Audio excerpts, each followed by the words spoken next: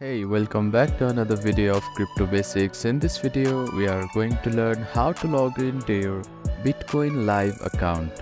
First of all, open up your preferred web browser. Now, at the address bar, type in bitcoin.live slash login and click on enter.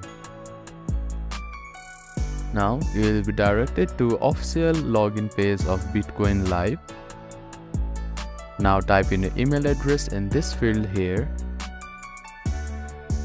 and password here.